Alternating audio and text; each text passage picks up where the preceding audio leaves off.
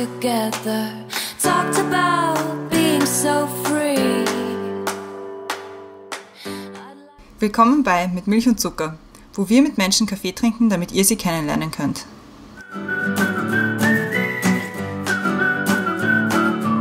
Willkommen zurück bei Mit Milch und Zucker, neue Woche, neue Folge und wir haben wieder eine spannende Gästin bei uns zu Gast. Aber zuerst zu uns. Hallo von mir, ich bin die Christiane und mir gegenüber sitzt die Brenda. Hi. Morgen. Bist du stolz auf mich, dass ich diesmal nicht vergessen habe, uns selbst Voll, vorzustellen? voll. Hättest du nicht damit gerechnet. Bei meinem letzten UK-Podcast, die ich geschnitten habe, Ja. hast du schon wieder entweder dich nicht vorgestellt oder, oder so. Also war schon wieder schwierig. Ja, weil, weil wir auch nicht im Mittelpunkt stehen, sondern heute zum Beispiel unsere Gästin, die Anna. Hi. Hallo, hi. Guten Morgen. Morgen. Guten Morgen, schön, dass du da bist. Wir sitzen bei Kaffee und Croissant und Apfeltaschen und Orangensaft, also es ist sehr gemütlich hier. Aber zu dir, Anna, du bist 37 und vom Beruf bist du, und das finde ich super spannend, die Leiterin des Debatten- und Meinungsressorts bei der Presse und im Team der Leitung für die Presse Sonntagszeitung. Genau. Bisschen zu deinem Lebenslauf. Du bist studierte Juristin, seit 2006 bei der Presse und warst unter anderem für die Ressorts Menschen, Medien und Leben verantwortlich. Seit 2013 Chefin vom Dienst, wie man so schön sagt, bei der Presse am Sonntag.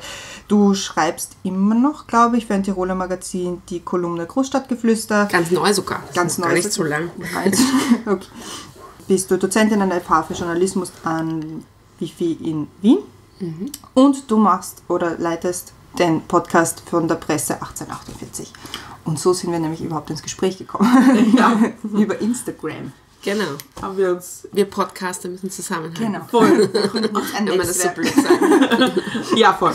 Und das war irgendwie total witzig, weil du uns irgendwie angeschrieben hast. Und ich habe dann gesagt, ja, da kommst du mal zu uns zum Gast. Gast. Genau, angeschrieben, weil ich einfach ganz frech Werbung wollte. Ich wollte, dass Nein, ihr uns, dass in ihr, dass ihr uns irgendwo erwähnt. Als, weil wir sind ja die Rookies am Podcast-Markt in Österreich bei der Presse. Und dann haben wir gleich, nämlich witzigerweise, du hast uns geschrieben, wir haben uns dann beide gleich angefangen zu hören. Sehr gut. Und dann waren wir schon dabei. Also zumindest bei uns hat die Werbung funktioniert. Sehr gut. Wir haben es auch immer unseren Adventkalender gehabt. Ja, stimmt. Mhm, vielen Dank dafür. Gerne. War, zu Recht auch. Ja. Gute Podcast. Und deswegen haben wir uns auch ein bisschen ein Thema überlegt für dich. Okay. Bist du schon, bist du schon nervös, was wir Natürlich, total. jetzt? Es ist nicht ganz so weit hergeholt. Und zwar gesprochener Jour- Journalismus, wohin entwickeln sich Medien in Österreich? Da wir Okay. gedacht haben, es ist halt auch total spannend, nachdem ihr von der Presse erst kurz angefangen habt zu einem Podcast. Das heißt, es ist auch neu der Gedanke, wie man das macht. Und auch wie man mit Medien im Internet umgeht und Medien gesprochen umgeht. Und natürlich bist du halt auch Medienexpertin und Journalistin. Und das kann man halt nicht auslassen als Thema. Stimmt, das ist auch ein wichtiges Thema. Ein Total. gutes Thema und ein wichtiges Thema. Ja, vor allem in Zeiten von verkaufen wir doch Zeitungen an russische Oligarchinnen, glaube ich, sollten wir mal viel mehr über Medien sprechen. Auch über Medienkompetenz nämlich. Und ja, also wir sind schon im Thema. dort, dort wollen wir hin. Aber natürlich wollen wir auch mehr über dich erfahren und über dich lernen. Und wie das, so wie das alles gekommen ist. Wie man einen Podcast startet für eine Zeitung. Alles solche Sachen. Aber zuerst haben wir die Questions to go. Genau. Und die Christian beginnt. Okay, bist du bereit? Ich bin bereit. Radio oder Fernsehen? Ich hätte wahrscheinlich bis vor einiger Zeit eher gesagt Fernsehen, also vor allem in meiner Jugend und frühen Erwachsenenwelt, aber es hat sich stark zu Radio und eben auch Podcast hin entwickelt, wobei ich eigentlich sagen muss, ich habe immer beides sehr viel konsumiert, immer schon. Ö1 und FM4 waren beides meine Begleiter, seitdem ich 15 war. Ja. Nebenbei alles Beides. Gute FM4. Alles Gute, genau. FM4, genau. Ja. Welches ist der beste Ratschlag, den du je bekommen hast? Einer, der mir gut gefallen hat, gerade auch im beruflichen Alltag, ist von einem Kollegen, der schon ein bisschen älter ist als ich, hat mir vor vielen Jahren gesagt, dass mal irgendwie eine Krise, eine, eine große Krise in der Zeitung war, die mich betroffen hat oder ein, auf einen Fehler von mir zurückgegangen ist. Der hat zu mir gesagt, Anna, überlege mal, morgen wird der Fisch eingewickelt in, den, in die Zeitung, in einer Woche juckt es noch vielleicht ein bisschen, aber was du dir immer vorstellen solltest, ist, wenn sowas ist, frag dich, wird in einem Jahr noch irgendjemand über dieses, diesen Fehler, über dieses Thema reden oder nicht? Und meistens kann man das natürlich mit Nein beantworten. Und das hilft, finde ich, sehr oft gerade in diesem eitlen Beruf Journalismus, wo nicht nur du selbst und, und wir Journalisten ja oft zur Eitelkeit neigen, sondern auch die Protagonisten, über die wir schreiben. Und wo es eben doch immer wieder auch zu Problemen kommt mit falschen Einschätzungen oder auch eben wirklich richtigen Fehlern. Und man dann durchaus gescholten wird heftig. Und da ist, die, ist es sehr gut, sich zu erden und zu sagen, gut, also nächstes Jahr um die Zeit denkt kein Mensch mehr drüber nach. Als Kind wollte ich werden. Das ist durchaus eine lustige Geschichte. Eigentlich wollte ich lange Anwältin werden, weil ich aber auch damals immer schon geprägt war durch Fernsehen. Also vielleicht stimmt die Frage, die, die Antwort, die ich vorher gesagt habe, ist doch eben eher Fernsehen. Ich wollte aufgrund von, da gebe ich zu, der Cosby Show, der Mutter in der Cosby Show und dann später Ellie McBeal und so war Anwaltei immer sehr wichtig. Aber ich habe ein paar Jahre, nachdem ich schon im Journalismus war, in einer alten Lade einen Zeitungsausschnitt gefunden vom Kurier wo ich mit 16 interviewt wurde, weil wir mit der Schule an der Uni Wien waren. Ich habe in Wien, war ich in der Schule und habe dort offenbar einem Reporter dann die, auf die Frage, was ich später werden möchte, das waren so Berufsorientierungs- oder Studienorientierungstage, klar gesagt Journalistin. Und ich habe mich selber gar nicht mehr daran erinnert. Ich war da mit Foto und Anna Meiner 16 sagt, sie möchte Journalistin werden. Und ich glaube, dann so mit 30 oder so habe ich das gefunden und gedacht, okay, gut, ja, habe ich schon gewusst. Welche Qualitäten sind dir bei Leuten wichtig, mit denen du Zeit verbringst? Ich finde Menschen sehr, sehr toll, die positiv sind und nicht, also die nicht so in dieses Jammern verfallen. Äh, Man kann natürlich über Probleme sprechen und all diese Dinge, aber ich finde es immer sehr, sehr super, wenn jemand neue Ideen hat, äh, sich schnell für was begeistern kann. Und ich sage das jetzt auch bewusst, also Menschen, die mich hören, werden sagen, ja, ja, genau, dann nimm dir mal du selber, nimm dich mal du selber an der Nase, weil ich tendiere schon eher auch immer wieder mal so, vor allem im Privaten, so eher zum Jammern. Aber umso mehr finde ich es bereichernd und super, wenn jemand anders ist. Und ich liebe es zum Beispiel, wenn ich mit meiner besten Freundin erst letzte Woche sie nach längerer Zeit mal wieder gesehen habe, an einem Samstag am Abend und irgendwie so ein klassischer, kitschiger Mädelsabend mit irgendwie Spa und Essen gehen und ich am Sonntag dann fünf bis sieben Dinge von ihr im Kopf schwirren habe, neue Ideen für Bücher, Podcasts, weiß ich nicht, äh, Sachen, die sie halt einfach so aufnimmt und das finde ich sehr, sehr toll. Und ich finde es überhaupt super, wenn man, also zweite, zweite wichtige Eigenschaft ist einfach, dass man offen redet und nicht sich trifft und einfach nur über Oberflächlichkeiten austauscht. Was darf in deinem Kühlschrank niemals fehlen? Joghurt, Salami und Orangensaft. Nämlich hohes C.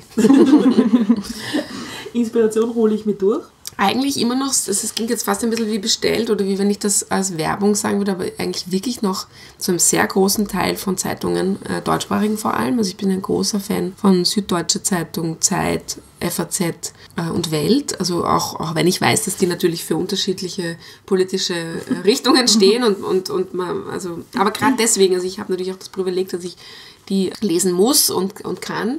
Da kommt viel heraus und mh, auch von, von Podcasts wie eurem zum Beispiel oder von anderen und, und natürlich schon auch von den Social Media, also Facebook und Twitter. Also da kommt schon viel Inspiration herein.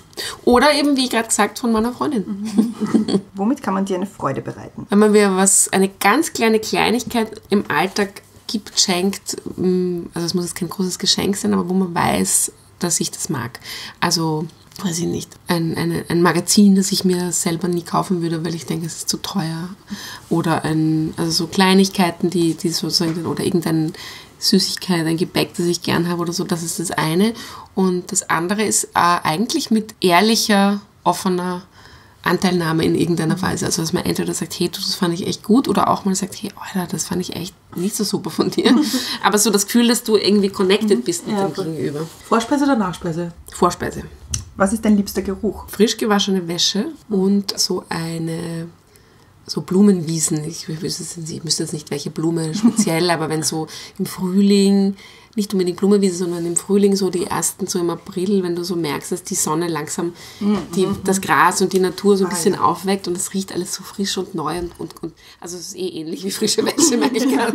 Also so ja, sauber und gut und schön, das ist, gebe ich zu, ganz, ganz gut. Bei Familien und Freunden bist du berühmt für? für viel, zu viel quatschen, also und vielleicht auch zu viel unnötige Sachen quatschen. Für den kleinen Putzfimmel, den manche vielleicht auch größer nennen würden. und für, für sich einsetzen und, und dem Freunden und Familien, glaube ich, auch einiges geben. Was ist die blödeste App auf deinem Handy? Ich habe, glaube ich, keine blöden Apps. Irgendwie haben alle eine, eine, einen Grund oder ein. Ich meine, vielleicht was ein bisschen seltsam oder nicht seltsam, sondern blöd ist, ist eigentlich, ich habe eine Schrittzähler-App vor kurzem mir drauf installiert und ich habe das Gefühl, das ist ein völliger Blödsinn, weil natürlich jedes Mal, wenn ich mich bewege, die auch, also wenn ich das Handy auch nur so nehme oder es irgendwo, also ich habe das Gefühl, der Schrittzähler zählt auch Schritte, wenn ich im Auto oder in, oder in der U-Bahn sitze. Das ist irgendwie kontraproduktiv. Danke sagen möchte ich. Das ist immer so, da nimmt man immer so zum Kitsch und bevor ich das mache und irgendwelchen Menschen in meinem Umfeld oder was auch immer, Beruf oder so, danke, sage ich danke an euch, dass ihr mich eingeladen habt.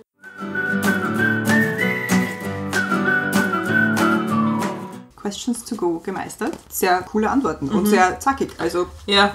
da, da, da sieht man die Profis im Podcast.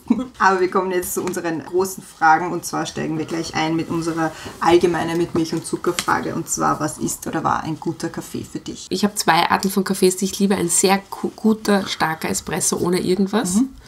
Oder so ein, eine Melange von so einem Hipster Coffee Place oder sowas wie Josefbrot. Oder was ich sehr, sehr gern habe, ist die Kaffeeküche im Schottentor. Leider komme ich dort nicht mehr so oft hin, weil ich nicht mehr in der Gegend wohne. Da bin ich jahrelang jeden Morgen vorbeigegangen und habe mir eine Melange genommen.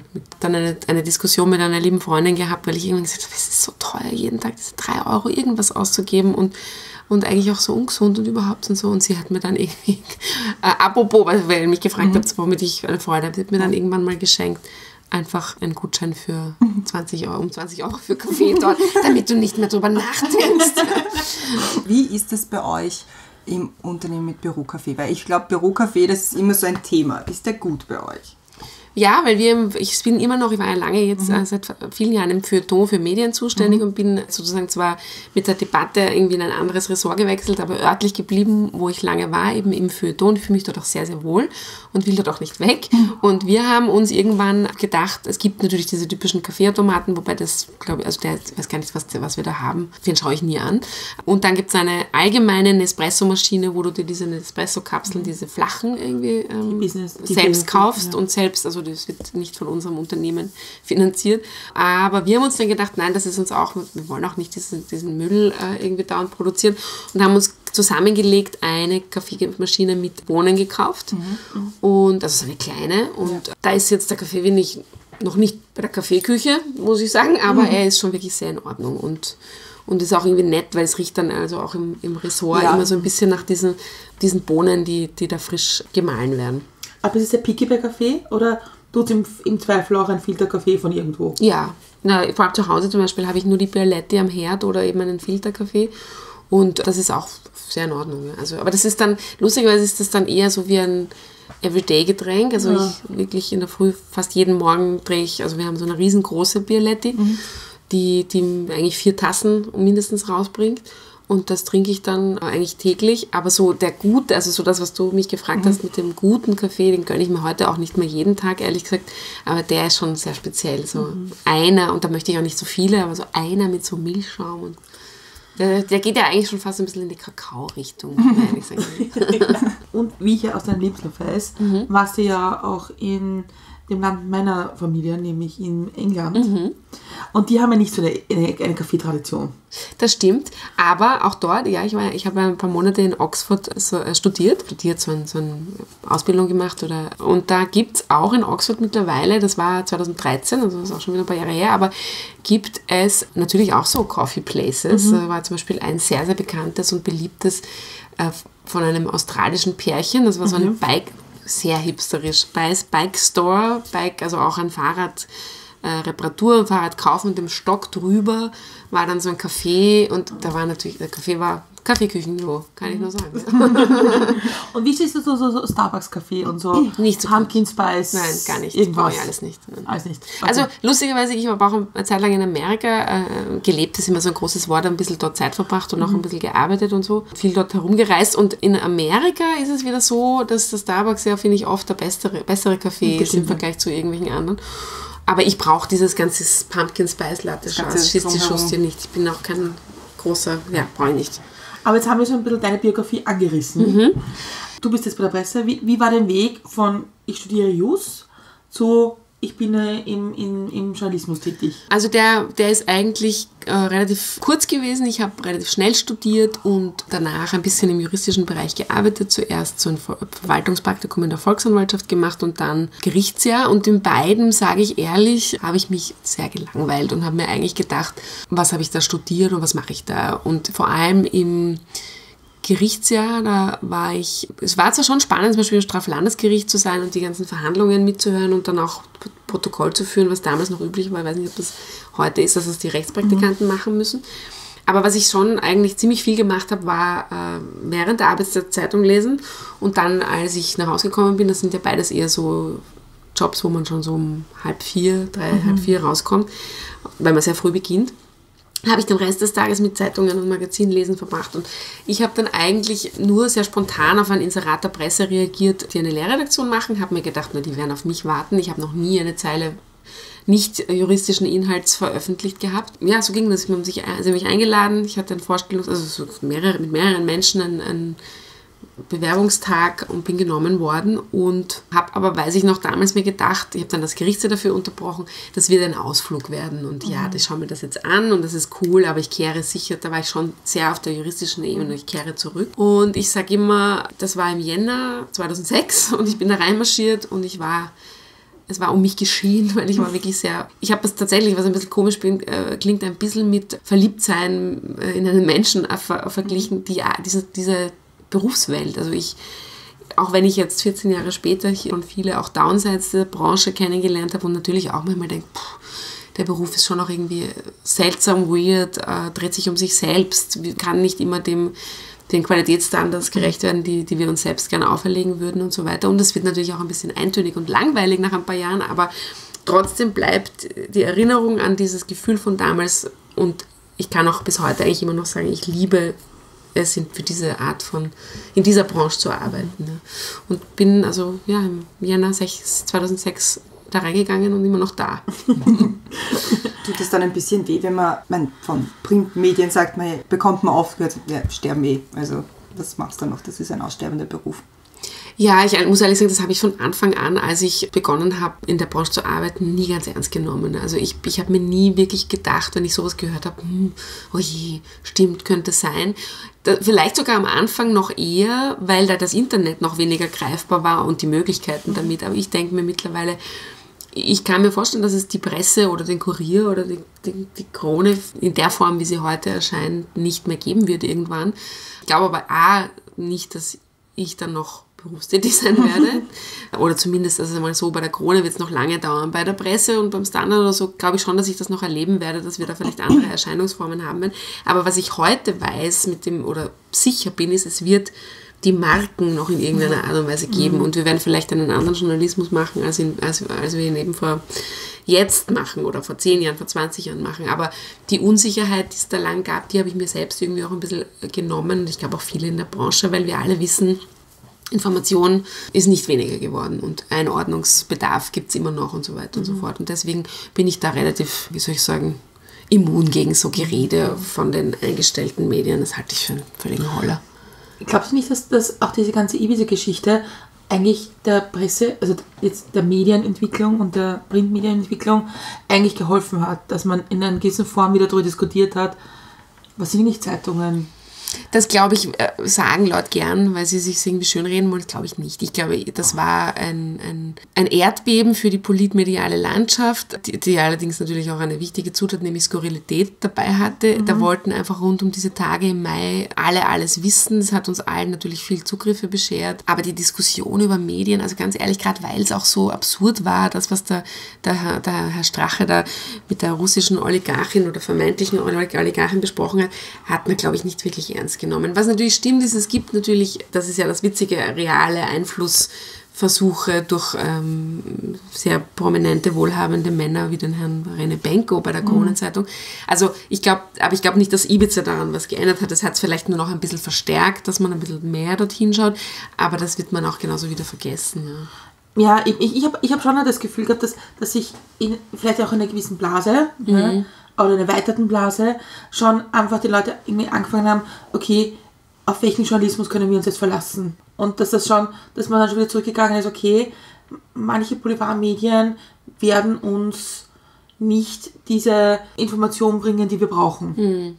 Also das kann schon das sein, weil ich, ich fand viel interessanter an der ganzen Geschichte, dass es sich eben um die Kronenzeitung gehandelt hat und mhm. dass die so sich selbst so gerne als, als ähm, Elfenbeinturm und ab, äh, hermetisch abgeriegeltes, wir sind, wir machen, was wir wollen, Medium darstellen, plötzlich da äh, sich so einem vermeintlichen Zugriffsversuch mhm. ausgesetzt gesehen hat und ja das dann auch selbst instrumentalisiert hat. Also da hat ja dann der Herr Dichand und äh, andere haben ja dann irgendwie sehr stark gegen die FPÖ und den Strache geschossen und irgendwie so sehr gesagt, das ist ja Wahnsinn und wir können das, nicht- das können wir sozusagen nicht, nicht gelten lassen. Das fand ich eigentlich am interessantesten, diese, dass das da bei diesem Fall herausgekommen ist. Ja, aber wir haben uns irgendwie total vorgegriffen und sind Wahnsinn. Ja, ich habe ja gesagt, ich bin bekannt für Plaudern und Quatschen. das Dem ist super. stoppen zwischendurch. Nein, also nein, Sicher nicht. kommt nicht in Frage. Also du bist dann, du hast dann in der Presse angefangen und wie ist dann der Weg, um es jetzt ein bisschen in die Richtung Ja. zu bringen, wie ist dann der Weg gegangen von ich arbeite in der Presse zu ich mache jetzt einen Podcast für die Presse. Und das ist ein ziemlich langer Weg. Naja, also ich habe in der Presse, ja eben, wie, wie du auch vorher schon erwähnt hast, einige Stationen durchlaufen. Und weil ich relativ jung beim Start war, habe ich mir aber auch irgendwie immer wieder so ein bisschen kurze Auszeiten gegönnt. Also ich war eben ab einem gewissen Jahr, ich glaube ab 2009, da war ich dann drei Jahre bei der Presse, alle zwei Jahre eigentlich immer so kurz kurz mit kurz meine ich jetzt so zwei, drei, vier Monate, ähm, also eben Oxford zum Beispiel ein, äh, vier Monate, New York dann äh, zwei Jahre später drei und so, weil ich ein bisschen auch raus wollte noch zwischendurch. Und ich glaube, das kann man tatsächlich auch bei mir ein bisschen in meiner Biografie mittlerweile lässt sich es nicht mehr verleugnen, weil sie schon ein bisschen länger ist, die Bi Bi Berufsbiografie.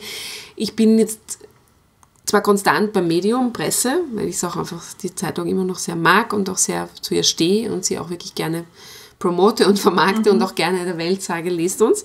Aber ich bin in, in meinem inhaltlichen Ding schon jemand, der alle paar Jahre was Neues sucht. Und also deswegen war eben zuerst so ganz zum Start in der, im Chronik-Ressort, wo ja viele Journalisten starten, Me Menschen, war so eine, eine Seite, die es nicht gab und die hat also vor allem bedeutet Interviews und Porträts und, und dann halt auch ein bisschen so gesellschaftliche Anlässe, die in Wien wichtig sind, von Opernball bis äh, nicht Liveball zu begleiten und, und irgendwie auch in der Presse, wo das vorher eher wenig vorkam, äh, mit einem gewissen Niveau und einer gewissen auch vielleicht ironischen Note, was mehr oder weniger gelungen ist, aber doch rüberzubringen. Und das war mir dann aber nach vier Jahren irgendwie auch äh, ein bisschen zu wenig.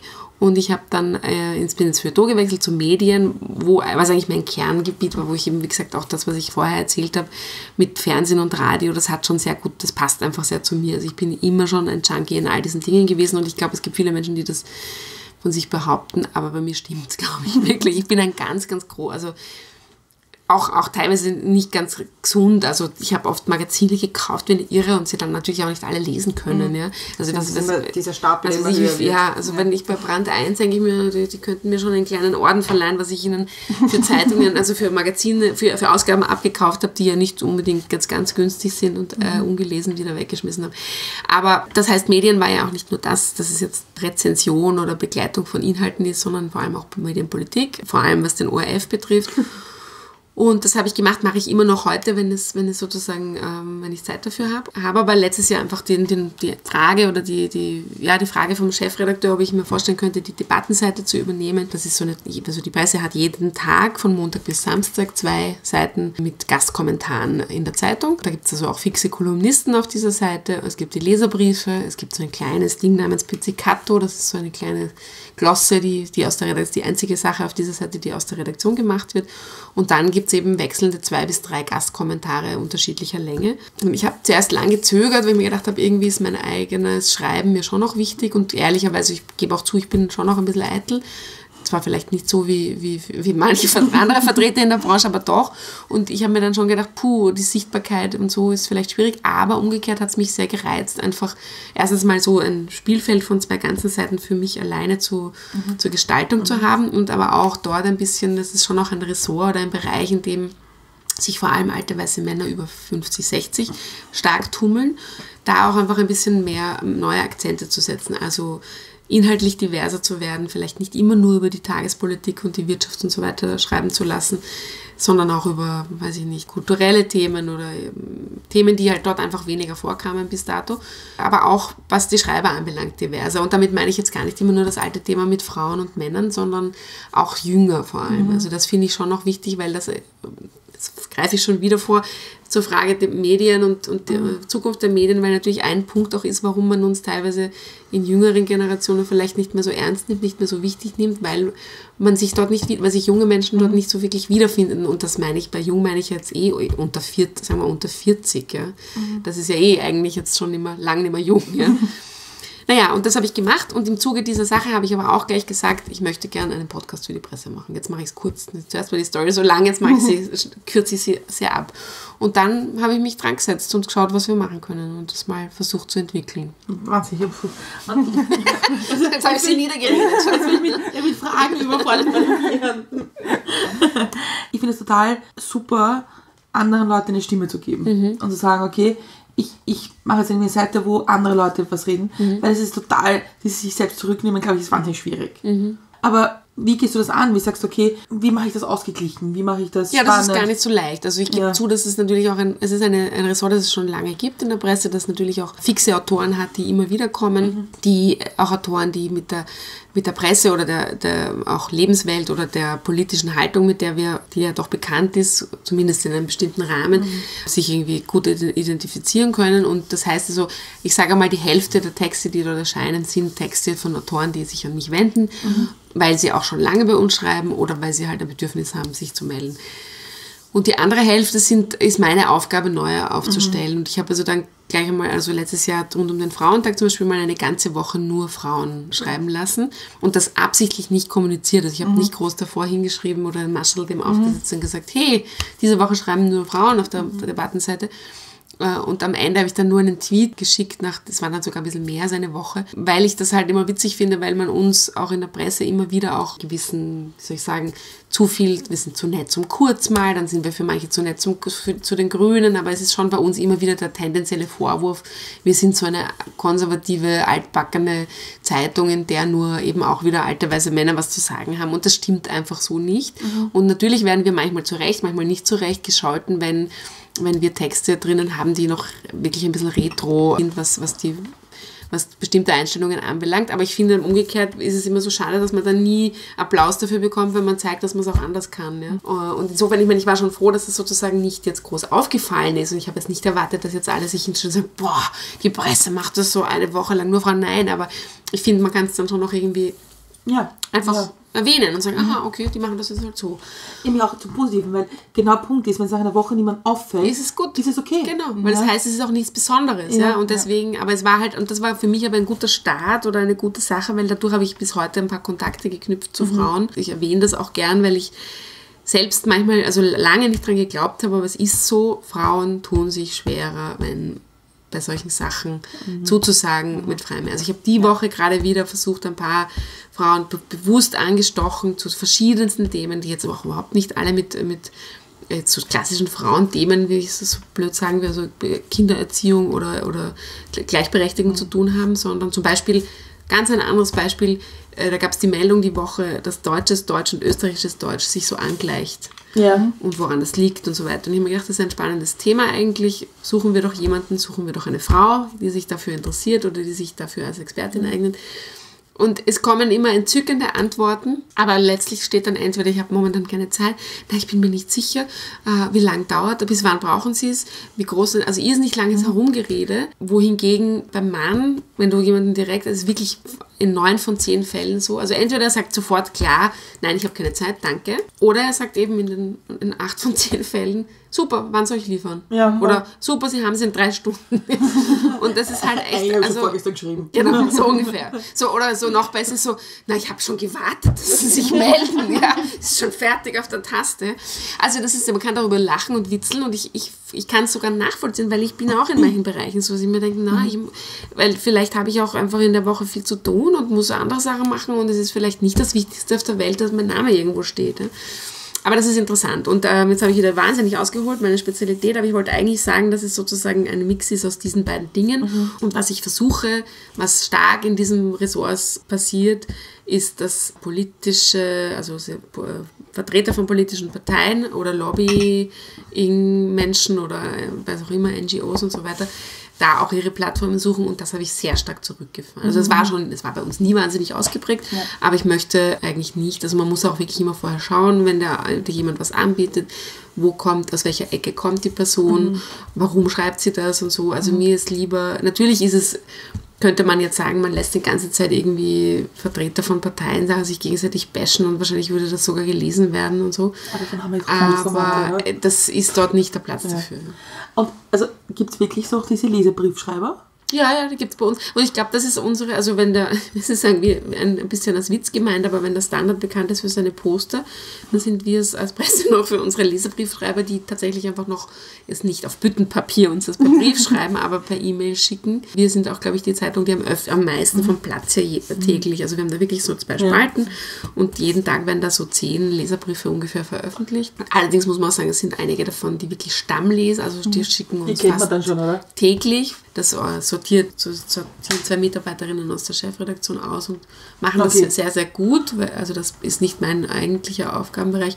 Und da, also gibt es ein paar, die immer wieder schreiben und auch, auch dort ist die Dominanz von Männern stärker, Mhm. also ist doch zu spüren. Aber es ist doch immer wieder auch interessant, dass sich zwischen den Lesern da auch Diskussionen und Debatten abspielen, dass man gegenseitig dann sozusagen hin und wieder aufeinander Ja. repliziert. Und ich höre immer wieder, ich kann es selbst nicht ganz verstehen, aber ich höre sehr oft, dass es viele Menschen gibt, die die Presse, das sind nämlich die zwei letzten Seiten von hinten, dass das viele Menschen die Zeitung von hinten beginnen. Okay, das habe ich noch nie gehört. Ja, weil sie sozusagen immer wissen wollen, wer schreibt da. Ja. Also es ist natürlich wahrscheinlich auch eine bestimmte Blase, die das halt besonders, die das auch gewöhnt, sich angewöhnt hat. Die wollen also dann die, die fixen Kolonisten, die Anneliese Rohrer und den äh, Christian Ortner, das sind so unsere allerwichtigsten, mittlerweile auch Karl-Peter Schwarz. Äh, wir haben jetzt eine ganz neue Kolonistin, die Anna Goldenberg, die wollen einmal diese sechs, sechs Leute lesen, die jeden Tag ein anderer, die sind auch immer am fixen Tag, das heißt, man weiß schon, am Samstag ist die Rohrer drinnen, am Freitag ist der Ordner drin und so.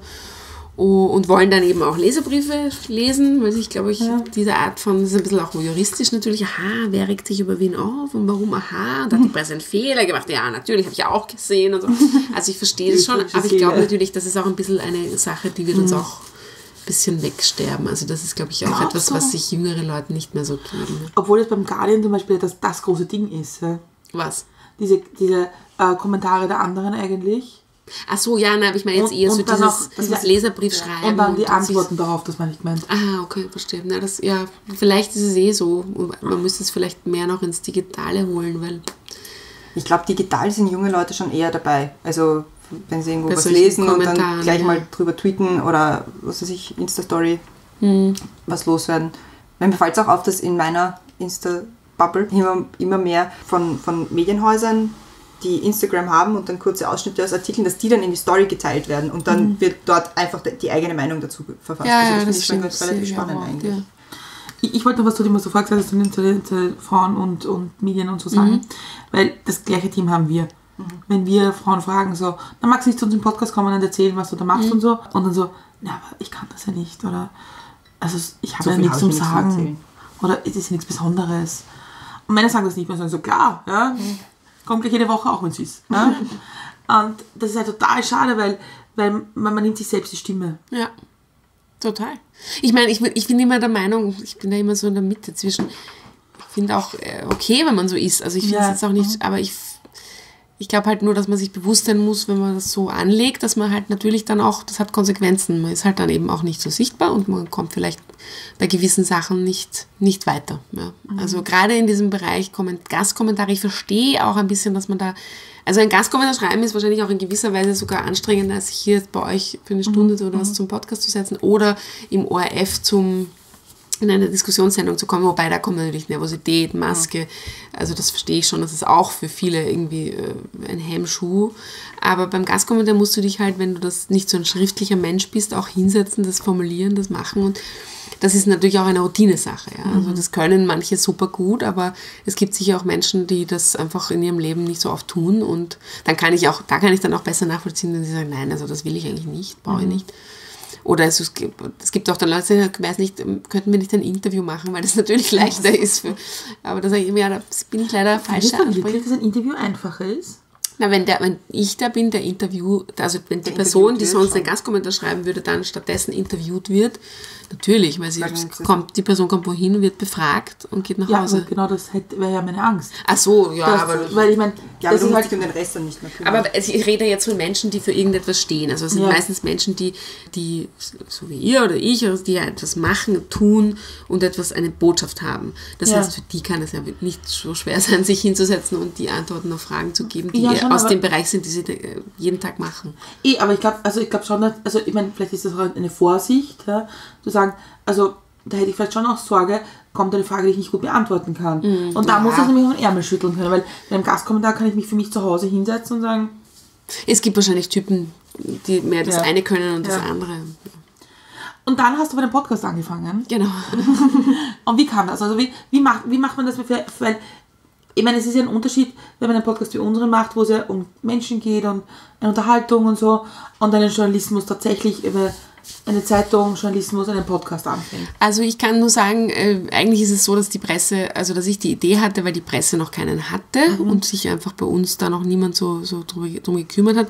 Und rund um die Wahl dann, also als dann sozusagen im Mai klar war, es kommt auch eine Wahl, eine, wieder eine, wo ja natürlich sich äh, der Bedarf an, an, an Medienformen aller Art noch ein bisschen steigt, wie wir ja wissen, habe ich mir gedacht, das wäre jetzt eigentlich eine gute Sache und dann relativ schnell mit dem Georg Frehrer, der früher mal für uns gearbeitet hat in der Presse und mittlerweile sich äh, auf dieses Thema Podcast Producing äh, gehaut hat, geplaudert und irgendwie die Idee gehabt, dass wir das gemeinsam machen, weil ich schon wusste, ich brauche einen Partner, der mich mit diesen ganzen technischen Dingen unterstützt, weil das geht sich, glaube ich, in, also da wusste ich einfach, das geht sich von 0 auf 100 in meinem Alltag, beruflichen Alltag nicht aus. Und das haben wir dem Chefredakteur Rainer Nowak vorgeschlagen und haben dann einmal die Idee gehabt, zum Start eine Pilotfolge sozusagen zu machen oder Pilotstaffel mit den kurzen Interviews, die der Rainer Nowak mit den Spitzenkandidaten vor der Wahl geführt hat. Also er hat den Sebastian Kurz und den Peter Pilz und die Beate Meindl-Reisinger 13 Fragen ihnen gestellt. Und das haben wir, das war ein Videoformat, also das war auf der Website abzurufen und so weiter. Und da gab es auch ein paar immer wieder so Anregungen und Kritik, warum gibt es das eigentlich nicht, das Podcast. Das heißt, das war mal der Start. Und dann habe ich mir gedacht, ab dem äh, Tag nach der Wahl geht's los mit einem normalen Podcast. Die Idee, warum heißen wir 1848, ist eigentlich leicht erklärt, weil erstens mal ist es unser Gründungsjahr 1848. Es steht auch bis heute unter der Presse Headline, also gedruckt frei seit 1848. Das heißt, das war irgendwie so das eine. Und das andere war auch in dem Titel eine Idee darauf oder einen Hinweis darauf zu geben, dass unsere Folgen nicht länger als 18 Minuten und 48 Sekunden sein sollen. Warum? Weil wir uns halt auch gedacht haben, es gibt schon relativ viel Podcasts in allen möglichen Längen. Wir sind spät dran und wir, wir wollen ein ähm, bisschen zu unserer Leserschicht passen, die sehr politik- und wirtschaftsorientiert ist, etwas sehr Kurzes anbieten, wo sozusagen in, einer, in unter 20 Minuten Information aufnehmbar ist und nicht jetzt, also ich glaube, zu uns passt vielleicht zumindest am Anfang so ein Stunden, eineinhalb Stunden langes Gespräch eher nicht. Das war mal die Idee und seither ist eigentlich der Podcast noch, noch ein bisschen so ein Sammelsurium an allem, was das Presseuniversum ausmacht. Also wir hatten einerseits äh, Debatten von Experten oder eben auch Kolumnisten von unserer Seite. Wir hatten Interviews vom Chefredakteur mit, mit äh, speziellen, äh, eher bekannteren Menschen, wie Arik Brauer zum Beispiel oder dem Michael Landorf, dem Caritas-Präsidenten vor Weihnachten. Und wir hatten aber auch relativ viel so ein bisschen Inhalt oder Einblick in das Presse, in den Pressealltag. Also eine Folge mit der Anna Thalhammer, der investigativen Journalistin, der, der wo vor einigen Wochen bekannt wurde, dass eine Behörde ihr auf ihr Handy zugreifen wollte.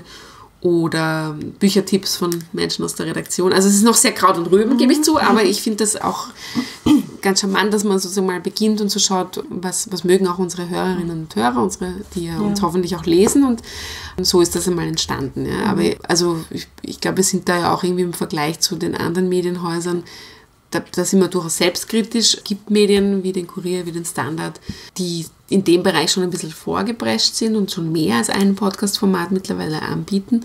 Und da einfach, oder der Falter, mit der Falter hat, ist ein Falterradio. Aber wir wollen da jetzt halt einfach mal, wir sind froh, dass wir jetzt auch mal was haben und schauen, dass wir das weiterentwickeln können. Ich stelle mir das auch vor, dass es ja, wenn, wenn es an einer Zeitung angehängt ist, ja auch schwierig ist, vor dem Tagesding zu trennen und sagen, okay, das ist jetzt für eine Woche und Genau. ja, und oder, oder ist es schon auch, dass man sagt, man kann, man kann den Rhythmus, den man in einer Tageszeitung hat, auch in einen Podcast einfließen lassen?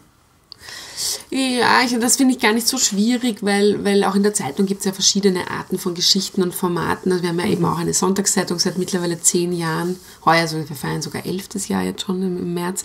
Aber ähm, was ich eher schwierig finde, ist, dass man, dass bei einem Podcast von einer Medienmarke wie der Presse und wahrscheinlich geht es den anderen auch so, ich weiß es nicht, ich habe noch nicht so oft mit anderen geredet, aber ich finde es ein bisschen schwieriger, ähm, sich einen Tonfall zu, also den Tonfall, die richtige, den richtigen Zugang zu finden, weil es gibt uns eben als Zeitung mit einer bestimmten mit einem bestimmten Zuschnitt schon so lange und dann gibt es da dieses neue Format Podcast und dann ist man so wie ihr oder ich, jemand, der viel von diesen Dingen hört, sich da natürlich auch beeinflussen lässt, sich überlegt, okay, so will ich es gar nicht, so soll es unbedingt sein und eines der Dinge ist ja auf jeden Fall die Tonalität. Da tut sich, glaube ich, eine Zeitung wie die Presse ein bisschen schwerer, welchen Weg sie einschlagen soll. Also soll sie eher formaler, formeller äh, bleiben oder doch eher so in dieses bisschen Wohnzimmeratmosphäre gehen. Ich glaube, das, was ich so, so, was ich beneide an, an so Podcast, Independent-Podcasts wie eurem, ist, dass man einfach tun kann. Ja? Man muss natürlich sich was überlegen, genauso, und, aber man hat freie Hand in dem Wie und was und wer und wo. Und bei uns ist schon mehr so, dass du natürlich immer überlegen musst, das geht, beginnt beim Logo, beim, geht weiter über den Inhalt äh, oder eben auch beim also Logo, Name des Podcasts, Inhalt und so weiter. Man muss immer überlegen, passt zu uns, ist das authentisch, nimmt man uns das ab. Und äh, bei einer Sache war das besonders stark zu sehen, da haben wir lang darüber diskutiert, oder nicht lang, aber es war eine Diskussion, als ich die Probe abgegeben habe und irgendwie auch versucht habe, also ich muss ja dann natürlich auch ein bisschen mit den Chefs und den Chefredakt in der Chefredaktion äh, schauen, ob das auch passt, habe ich ein, das höfliche Sie genommen, also ein Ihr, die, an die Hörerschaft formuliert und da kam so ein, ah, ich weiß nicht, das ist nichts, warum, warum siezen wir denn unsere Hörerinnen und Hörer nicht? Das machen wir ja auch bei den Leserinnen und Lesern. Und habe ich lange überlegt und habe gesagt, aber nein, ich, ich, ich komme mir auch ehrlicherweise blöd vor. Ich bin auch eine, bin dann doch, also ich bin die Jüngste leider, aber, aber ich bin, ich zähle mich noch irgendwie zu, zu einer gewissen jüngeren Generation. Ich komme mir blöd vor, wenn ich da jetzt mit Sie anfange. Ja? Ja. Schön, dass Sie wieder da sind oder so. Ja. Und es ist halt eben schon okay auch. Es ist, wir sind die Presse und wir werden nie irgendwie jetzt da nur so vor uns hin äh, plappern. Und es, aber wir können zumindest schon wagen, so ein bisschen lockerer zu sein. Und Ja. auch wenn es nur, ich meine, das ist eh Wahnsinn, wenn man locker sagt zu dem, aber auch wenn es nur ist. Ja, aber das ist ein, Ein großes. Thema. Ich meine, das, das unterschätzen halt Leute, die halt vielleicht Podcasts konsumieren, unterschätzen das in der Planung total, Ja, ja, diese genau. Feinheiten, Ja. die aber dann die Feinheiten die Summe ausmachen. Und ich beneide, also wirklich, das ist, äh, und deswegen finde ich auch dieses Format so spannend. Es gibt wirklich viele spannende Leute, die Podcasts machen und die sich um nichts scheren müssen und die, natürlich musst du eine kreative Idee haben und musst das dann auch durchziehen können und super wäre auch, wenn du eine gute Stimme hast und wenn du dich irgendwie einfach authentisch bist, ja. Aber das finde ich einen, einen großen Vorteil, wenn man das wenn man da ein bisschen freier ist. Und ich bewundere, also bei Medien ist es schon ein bisschen schwieriger. Ich meine, es gibt natürlich viele Medien, die auch super Podcasts machen und, ähm, und sehr ausgefallene und mit, mit auch, die auch wirklich viel kosten in der Produktion. Aber ich finde es erstaunlich, wie sehr sich, also in Wahrheit, ich habe jetzt unnächst einmal eine Diskussion, gerade erst wieder vor kurzem Twitter-Diskussion über die Sinnhaftigkeit von Podcasts diskutiert. Und da kam, habe ich dann selber den Vergleich gemacht, das ist ein bisschen wie Netflix für Radio. Und dann habe ich mir gedacht, das stimmt natürlich nicht ganz, weil gesehen davon, dass Netflix nur ein Betreiber ist, der diese Serien anbietet. Aber die, die Bedingungen für diese Podcast-Produzenten sind ja oft ganz minimal und es entstehen trotzdem großartige Sachen. Ja. Also es muss eben nicht immer nur oh, das, das Big, die, die große Show Ja. draus kommen. Fest und flauschig. Genau. Und Gibt es natürlich und das ist alles super und so, aber Was ich bei, bei eurem Podcast so spannend finde, ist, weil du hast vorher auch gesagt, so die Presse hat eher den, den Ruf, sage ich mal unter Anführungszeichen, eher so ein bisschen traditionell konservativ zu sein, mag stimmen oder nicht. Und Podcast ist ja doch ein eher junges Medium, dass man da irgendwie die, quasi die Marke Presse so ein bisschen verändern und mitgestalten kann. Genau, das, find finde ich sehr spannend. ja. Und ich meine, das ist aber eben genau auch da ist wieder die Frage, wo, wen kann ich, wen kann ich da locken? Ich sehe zum Beispiel, dass wir, wenn wir dann den Podcast vertreiben, es vor allem auf sozialen Netzwerken machen, dass wir gerade bei Instagram und Facebook durch das, wenn man es dort postet, ganz einen starken Zugriff haben. Ja. Wohingegen ich glaube, dass die Inserate in der Presse, also wir haben auch so Inserate, wo das einfach beworben wird, also Eigeninserate, wie man so schön sagt, das einfach gelesen wird, aber nicht, also da ist dann wirklich sozusagen dieser machen. Durchgriff Ja. äh, fehlt. Und ich glaube auch, dass es eine gewisse Leserschicht gibt, die einfach von diesem Format noch keine Ahnung hat, die das auch nicht und die es auch nicht mehr, also es, man muss man auch respektieren, es gibt auch Menschen, die das auch nicht mehr, nee, nicht mehr klingt so traurig, aber die das einfach auch nicht brauchen und nicht nutzen werden. Das heißt, die werde ich nie abholen. Ja. Ne? Aber Wobei ich glaube, da macht der Name den Leuten Angst. Ich Weil, weil dieses Ja, dann auf. Spotify und iTunes oder wo immer du es hören willst, ja, und da ist halt, da sind dann Formate wie YouTube wieder besser, weil das, da können viele Leute schon mehr umgehen damit. Ja, aber ich rede jetzt wirklich von Menschen, die von all dem kennen. Also die Ja. von YouTube genauso wenig Ahnung haben wie Die so von in der Früh Ö1 Spotify. Aus, äh, an, einschalten und dann am Abend wieder Ja. ausschalten. Also meine Genau. Lieblingsdefinition, was ein Podcast ist und warum es wichtig ist, ist von einem unserer Lieblingspodcasts, vom Kitty Feminist Podcast. Mhm. Und der Francis White sagt das immer, Podcast ist Radio, das sich niemand gestoppt hat zu machen.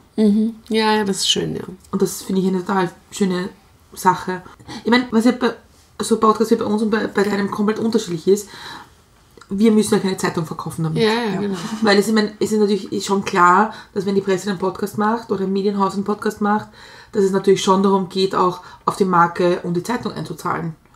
Und ich da kann mir vorstellen, dass diese Kombination dann schon schwieriger wird. Ja, und vor allem, was ich glaube, also ähm, das mit der, dieser Definition mit dem Podcast ist, ist Radio that äh, no one stopped, oder wie haben wir das dann? ja, noch was Äh, ist sicher richtig, aber gerade beim klassischen Medien, glaube ich, ist sie auch ein bisschen fatal, weil das hat vielleicht auch einen Grund, warum gestoppt wurde, also warum es nie eine Radiosendung geworden ist. Also es, was ich meine ist, es muss schon auch relevant sein. Ja. Also das, äh, ich finde, viele von den Podcasts, die es gibt, sind super zum Anhören und wenn man sozusagen so ein Junkie ist, wie offenbar wir, Ja. dann, dann hört man das gern, dann nimmt man sich auch diese Zeit dafür und so weiter. Aber als Medium musst du halt schon auch irgendwie was liefern, was Relevanz hat.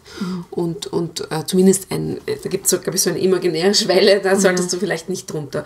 Wenn die erreicht ist, dann kann das eine schöne Ergänzung sein und ich meine, die Hoffnung und der Wunsch ist ja auch, dass du mit solchen neuen Formen, Medienformen schon auch irgendwann Geld verdienst. Ja? Also oder nicht nur irgendwann, sondern bald einmal. Ja? Weil es in Wahrheit genauso halt eine Arm der, der Marke Presse ist oder Marke Standard oder Marke Kurier, in dem sich aber manche Kunden, weil das ist ja auch interessant zu beobachten, Kunden sind ja ähm, auch sehr divers. Da gibt es welche, die werden noch lange in, nur im Printinserate gehen oder das, gut, von denen gibt es zugegebenermaßen immer weniger, aber klassisch werben und es gibt ganz viele junge, nicht junge, aber Unternehmen, die halt einfach auch ein bisschen weiterdenken oder die halt da ein bisschen kreativer sind und, und schon dringend nach auch neuen Plattformen suchen, wo sie ihre, ihre Produkte bewerben können. Stört dich Podcast-Werbung, wenn du selber hörst? Nein. Also äh, es kommt drauf an. Ich finde, ich finde eigentlich, also ich war zuerst ein bisschen irritiert von diesem, der Host spricht die Werbung selber ein. Mittlerweile mache ich das ziemlich gern. Ich finde aber auch Werbung, die so, also das ist dann so eine, also Eigenwerbung finde ich, äh, stört mich gar nicht. Also so zwischendurch so Abo, abonnieren es doch, mach doch und so weiter. Ein bisschen schwerer tue ich mir lustigerweise, wenn Werbung mit so einem kleinen Jingle eingespielt wird. Weil dann habe ich so das Gefühl, puh, okay, das dauert jetzt urlang. Also wenn so sagt, äh, ich glaube, der Falter hat das mit diesem, jetzt kommt die Werbung Ja. oder so. Ja. Das ist charmant, weil das diese Frauenstimme macht und so, aber es ist jedes Mal so, dass ich mir denke, hm, muss das sein. Aber es gibt ja auch diesen Button, dass du weiterdrücken kannst. Also ich verstehe, ich kann nachvollziehen, dass es manche Leute irritiert. Andererseits, wenn ich Radio höre, also richtig Live-Radio höre, habe ich ja auch Werbung. Ja? Außer es ist Ö1, aber... Und das finde ich, das ich total lustig, weil zum Beispiel, ich finde ja, ich bin ja total bei dir, ich finde ja Podcast-Werbung stört mich gar nicht. Weil ich das, davor habe ich auch Verständnis dafür, dass das ja irgendwie auch irgendwie zahlen muss. Ja. Ähm, ja, ja. Und vor allem das Eingesprochene finde ich dann wieder witzig, wenn sie Ja. Leute gut machen. Und da, das muss auch nicht profihaft sein, finde ich. Ja, das Witzige Ich glaub, ist, das ich man merkt sich total. Also ich, also ich Ja. habe mir, ich kann mich erinnern, bei der ganz offen, die Kolleginnen und Kollegen von ganz offen gesagt, die ja, glaube ich, die ersten waren in Österreich mit ihrem Podcast, haben das, glaube ich, haben auch relativ bald dann mit diesen eingesprochenen äh, Werbungsbeiträgen begonnen. Und ich kann mich, weiß noch heute, zumindest an zwei oder drei Kunden kann ich mich echt erinnern. Ja? Also das war, eins ist besonders lustig, weil es der Kreditschutzverband, ich kann mich genau erinnern, wie die, wie die Julia Ordner oder die Eva Weisenberger, weil sie jetzt nicht mehr das eingesprochen haben, das FUME, das Forum für Journalismus und Medien und Mazda. Und das ist witzig, das würde ich doch kein, keine Werbung im Radio würde ich mir merken. Ja? Ich meine natürlich, weil es auch mehr gibt und wenn man es ständig hört, aber Ich glaube, gerade für Unternehmen ist Werbung im Podcast, es machen noch nicht viele. Also ich muss dazu sagen, ich habe mich massiv jetzt damit beschäftigt, auch wegen einem anderen. Aber es, es ist halt auch am, am wirkungsvollsten, eben so wie du sagst. Man, man merkt sich einfach die, die, die Sachen, die eingesprochen werden, weil es eben anders ist als die normale Werbung. Genau. Erstens. Und zweitens, für Unternehmen ist es deswegen spannend, weil sie ihre Zielgruppe halt extrem, so, also so genau erreichen wie sonst mit gar nichts. glaube ich auch. Ja. Und also ich habe das in einem anderen Podcast jetzt gehört, wo ein anderer Podcaster darüber gesprochen hat. Natürlich, wenn, wenn du als Podcaster Werbung machst, ist es gleich wieder anders Medien im Gegensatz zu anderen Podcasts. Natürlich suchst du auch Sachen, die zu dir passen. Auch wenn sie jetzt komplett schräg sind aus irgendeinem Grund. Also AWFNR hat eine Zeit lang Podcast-Werbung gemacht für Pediküre-Salons in der Nähe, was auch immer. Total unterschiedlich. Aber ja, aber ich glaube, da müssen die Marketingabteilungen der Firmen, ich glaube, da, da muss noch ein Umdenkungsprozess sein. Und ich, ich sage jetzt, jetzt spiele ich den äh, Advocatus Diabolus, ich sage jetzt auch, wir wissen auch nicht, was wirklich dabei rauskommt. Kann genauso gut sein, dass sich das wirklich als Rohrkrepierer entpuppt. Kein Mensch da reinbucht, niemand Geld verdient mit Podcasts und vor allem äh, das, das Wording sozusagen stimmt von manchen, die sagen, Podcasts sind nur was für Medienunternehmen, die äh, nie auf Bewegtbild gesetzt haben, weil natürlich es im Vergleich viel günstiger ist. Du brauchst keine großen Kameras, kein Studio, kein großes und so weiter. Äh, Also das kann schon sein. Ich glaube nur, äh, und deswegen glaube ich auch so an dieses Produkt, äh, an diese Art von, von Journalismus oder von Content Producing, wie es ganz furchtbar heißt im, im, im Sprech. Ich glaube, äh, dass dieses Audio, also Hören, wird uns bleiben. Da bin ich ganz, ganz sicher. Es ist auch witzig zu beobachten, dass zum Beispiel diese Videogeschichten, die Zeit lang haben alle Medien Videos untertitelt, damit man es auch in der U-Bahn anschauen kann. und so weiter. Ich habe das Gefühl, diese Videogeschichte ist total zurückgegangen. Es gibt zwei, drei Medienhäuser, die haben sich einen TV-Sender dazu gem gemacht, wie, wie OE24 oder gekauft, wie der Kurier, haben zwischendurch aber dann auch das Gefühl vermittelt, vor allem also Kurier TV oder Schau TV, dass das auch sozusagen in der Qualität, wie sie es gern hätten, nicht auf Dauer produzierbar ist ja, und das ein bisschen reduziert. Und dann gibt es die anderen, die einfach feststellen, wir machen kein Fernsehen und kein Bewegtbild, weil es kostet viel Geld.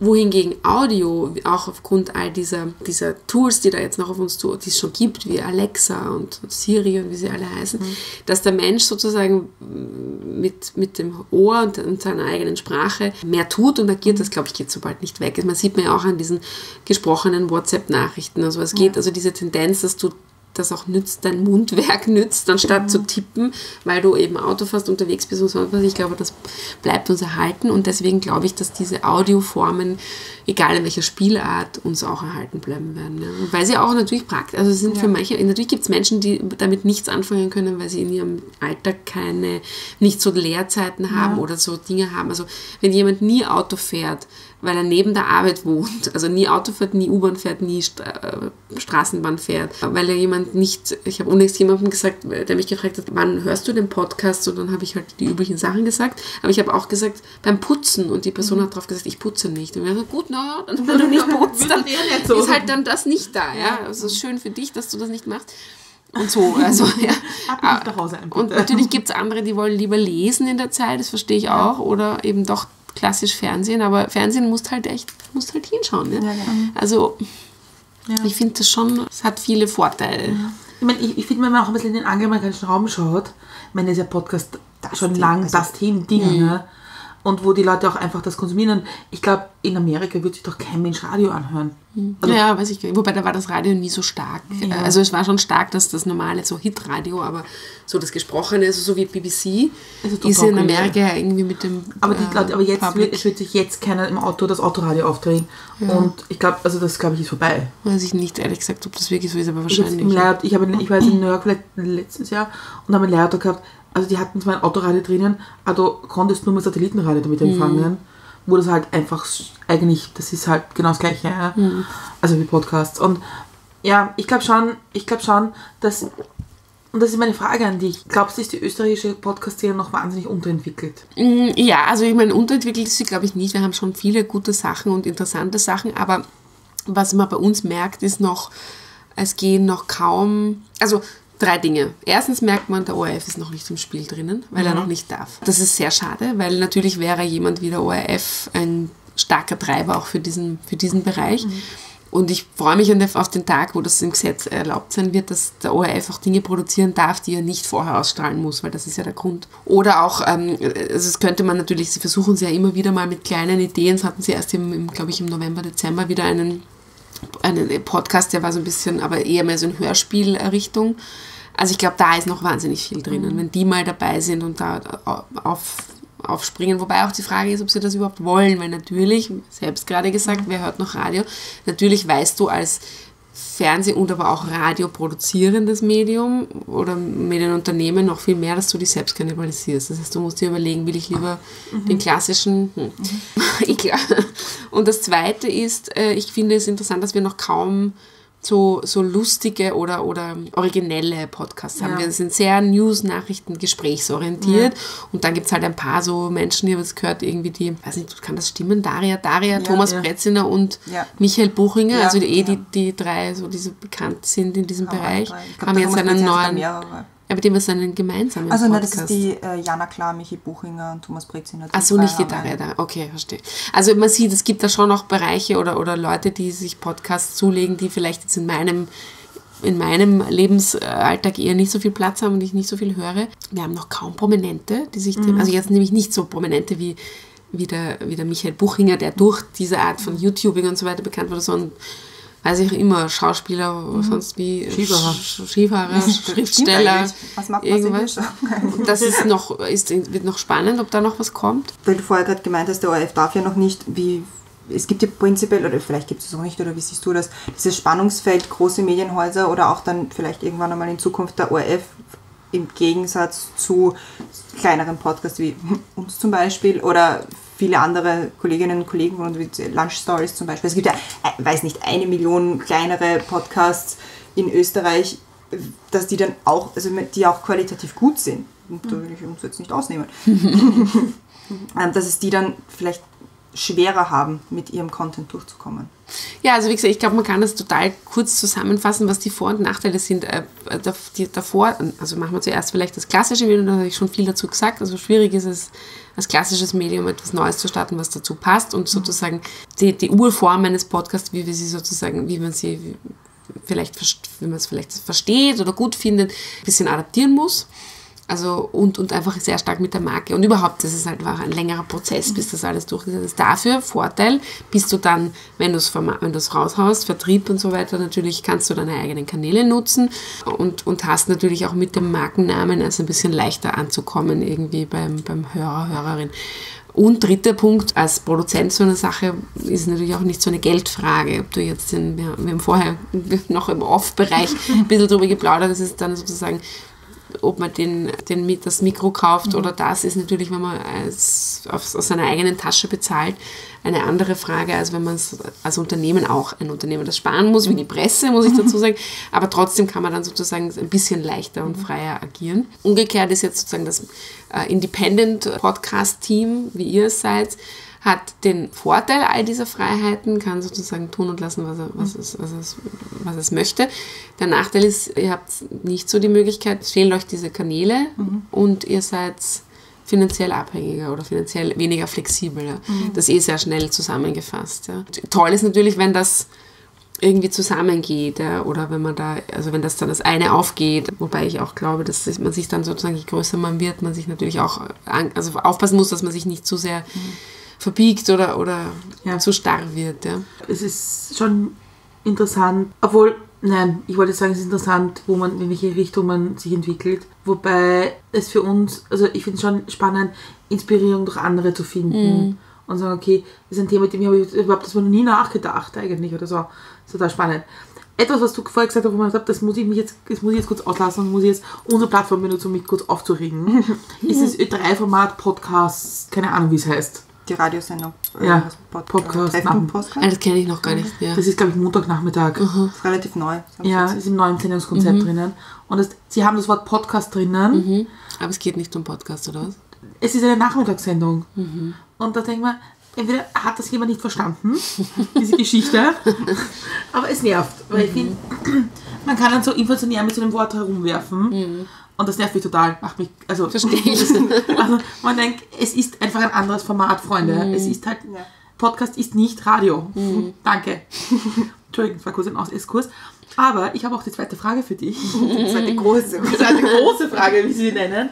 Nämlich, was sind Menschen und oder Ereignisse, die dich geprägt haben? Ja, also ich glaube mal zuerst haben mich auf jeden Fall meine Eltern geprägt. Das ist äh, irgendwie klar, ich bin Einzelkind und aufgewachsen als Tochter von zwei berufstätigen Eltern, wovon meine Mutter vor allem ganz, ganz stark dazu beigetragen hat, dass ich bin, wo ich bin, weil meine Mutter hat auch in einem Medienunternehmen gearbeitet, äh, heute ist sie schon in Pension aber für Trend und Profil seit den 70er Jahren zwar nicht auf der schreibenden Seite, sondern im Marketing und Abo, Abo-Verwaltung gearbeitet. Das heißt, ich bin aufgewachsen mit Magazinen, daher kommt auch diese Magazin-Junkiness, das ist nicht ganz nur einfach so da gewesen. Und Lesen und Bücher und Literatur und sich sozusagen mit und auch Fernsehen, ehrlicherweise, wir haben immer zum 19.30 Uhr zur Hauptzip Abend gegessen zum Beispiel. Ja. Das war schon alles sehr prägend. Und das Zweite war, und, und mein Vater, mit dem ich durchaus auch immer wieder heftig diskutiere und er, glaube ich, auch nicht immer alles äh, super findet, was ich mache, aber glaube ich schon sehr stolz ist auf, auf overall auf seine Tochter. Aber der hat sehr früh und immer wieder mir vermittelt, was ihm sehr wichtig ist, dass er mir mitgibt, nämlich Selbstvertrauen. Mhm. Und das haben sie schon beide sehr gut gemacht. Ja. Also ich glaube, das ist, äh, sie haben mir, sie haben mich nicht verwöhnt, also das nicht übermäßig verwöhnt. Ich habe nicht immer alles gekriegt, was ich wollte mhm. und so. Und ich war jetzt nicht total äh, gepampert, irgendwie so die Prinzessin auf der Erbse. Sie waren einfach da, haben mich unterstützt, haben mir zugehört, haben mir gesagt, du machst das gut und haben auch äh, vermittelt, dass ihnen das wichtig ist, dass, dass mhm. ich Selbstvertrauen entwickle. Das war also sehr wichtig. Das Zweite, was mich sehr geprägt hat, war, es klingt immer so lächerlich, wenn man davon anfängt zu erzählen, vom Ferienlager, aber ich war in meiner Jugend, eigentlich meine gesamten Zehnerjahre von 10 bis 18, 19, immer im Sommer in einem Ferienlager namens Ferienhort am Wolfgangsee. Das ist so ein Schönbrunner gelbes Schlösschen, das es seit über 120 Jahren gibt, wo sich ein Verein vor vielen, vielen Jahren überlegt hat, vor allem Wiener Stadtkindern, einen, die nicht so begütert sind, eine Sommer, Sommermöglichkeit, mhm. Sommeraufenthalt zu, äh, zu ermöglichen. Heute ist es einfach, wie, wie gesagt, es ist wie so ein großes Jungscherlager mit ein bisschen mhm. einem anderen Schwerpunkt. Man schläft in diesem Schönbrunner gelben Schlösschen, das mittlerweile unterm Jahr eine HBLA für irgendwie Kochberufe oder so ist. Das heißt, das ist auch alles relativ groß äh, ausgestaltet. es gibt einen riesen Festsaal, also das ist so ein Turnsaal äh, und man hat einfach den ganzen Tag Sportprogramm, aber der große Fokus liegt auf, auf Wassersport und zwar deswegen, weil die in ihrem Eigentum alte K&K Marinekutter besitzen. ich glaube mittlerweile sind es zwölf oder so, wovon äh, der Großteil dieser Boote nicht nur zum Rudern ist, sondern auch zum Segeln. Mhm. Und da gibt es dann sozusagen eine Unit, wenn du dich dafür interessierst, kannst du dort äh, eigentlich, also da gibt es dann wirklich sozusagen eingeteilt, du hast jeden Tag eine Rudereinheit und jeden Tag eine Segeleinheit, mhm. kannst auch den Segelanschein machen und so weiter. Und es ist eine sehr mannschaftssportorientierte mhm. Geschichte. Also die, diese Boote heißen Alfred und Hans oder äh, Seefalke, Tiger und so. Und äh, wenn du das mehr vertiefen möchtest, kannst du sozusagen Prüfungen machen und dich als einer von den Steuermenschen oder Kommandanten mhm, mhm. ähm, ausbilden lassen. Und das alles ist, ähm, dauert, also vier Wochen ist sozusagen die Hauptlänge von diesem Camp, schon relativ mhm. lang. Und wenn man dann noch diese Kurse dazu macht, ist es bis zu sechs Wochen. Also ich habe da teilweise vier bis sechs, sieben Wochen zum Schluss sogar meine Sommer verbracht. Sehr, sehr viel gelernt von was Teamwork anbelangt, aber auch führen, weil ich war dann auch zum Schluss so eine Steuerfrau und dann eine Kommandantin und habe das sehr, sehr gemocht und ich äh, habe äh, hab wirklich viele Leute, viele coole, liebe, nette Freunde getroffen und kennengelernt und, und hab, das hat mich sehr geprägt. Also ich habe heute noch Phasen, wo ich äh, mehr von diesen Sommern, wo ich davon träume und so weiter. Mhm. Ich bin, fahre bis heute sehr gerne an den Wolfgangsee, mittlerweile privat, komme dann immer kurz mal besuchen, die, die Campleute, weil mittlerweile kenne ich natürlich kaum mehr jemanden. Mhm. Das ist also ein wichtiges Ereignis oder würde ich jetzt unter Ereignis ja. ähm, für ein, ein lang gedehntes geprägt haben mich auch äh, viele Freunde, die mich so begleitet haben in den letzten, vor allem in dem, im letzten Jahrzehnt. Geprägt hat mich natürlich die Arbeit bei der Presse, auch natürlich nicht nur mein Chef, der Rainer Nowak, der schon, der mein erster Chef war, wie ich bei der Presse begonnen habe. Also er war damals Ressortleiter der Chronik. Du hast jetzt erzählt, also vom Wolfensee, vom Segeln und Team mhm. und so. Und dann bist du in, in einen Bereich in der Arbeitswelt gegangen, die halt, wo es halt schon um Ego geht, mhm. glaube ich. Also ich hatte ja sehr Respekt vor dieser Medienbranche, weil es geht schon um Ellbogen, Ego und.